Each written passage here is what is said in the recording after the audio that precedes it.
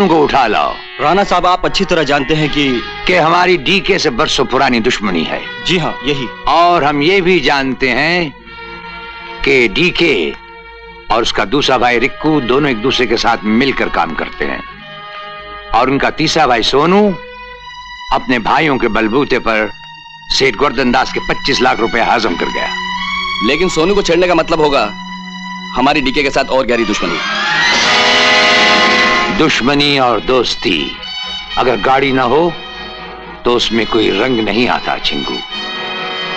हमें सोनू ज़िंदा चाहिए 24 घंटे के अंदर। इस काम के लिए मुन्ना और ताहिर को भेज दें। हमें सोनू को उठवा कर लाना है। ज़िंदा मुर्दा नहीं। तो फिर ये काम कौन करेगा? सिर्फ़ एक आदमी। और तुम लोगों ने अभी उसे देखा भी नहीं। और सोनू कभी ख्वाब में भी नहीं सो सकता कि वो हमारा आदमी होगा। कुछ ही दिनों से वो हमारे साथ काम कर रहा है। निहायत चुस्त चालाक और फुर्तीला।